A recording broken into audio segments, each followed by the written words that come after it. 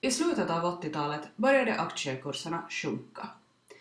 Som mest sjönk vissa aktier med hela 70 procent och det här innebar att de som spekulerat på aktierna förlorade mycket pengar. Bland annat banker hade sysslat med aktiespekulation.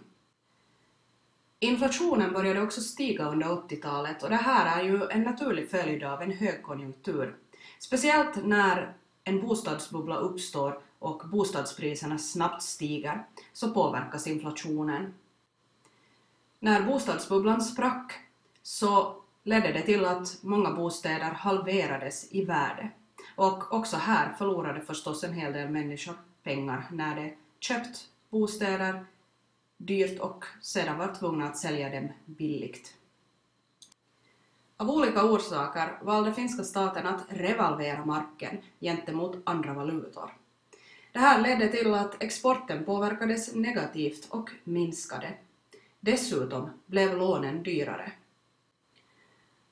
När handeln med Sovjetunionen avstannade på grund av att Sovjetunionen kollapsade så påverkades också handeln negativt och minskade under en tid. Allt det här ledde till att företagen var tvungna att börja skära ner och säga upp människor.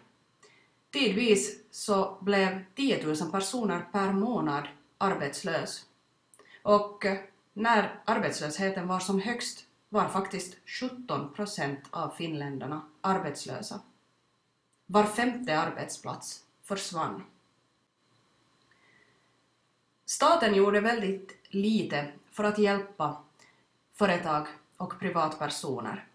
Man utgick ifrån att marknaden skulle återhämta sig självt och eh, rätta till saker och ting.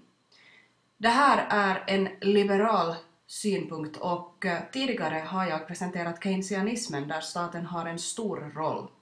Nu handlade det snarast om en form av monetarism där staten ska göra så lite som möjligt och egentligen endast bevara valutans värde. Det här försökte staten åstadkomma genom att behålla en fast valutakurs.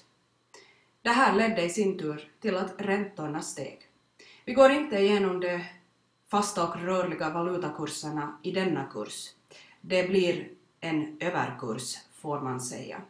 Men det handlar om att endera sätta ett fast värde på en valuta eller att låta valutan flyta fritt och värdet påverkas då av marknaden och efterfrågan och utbud.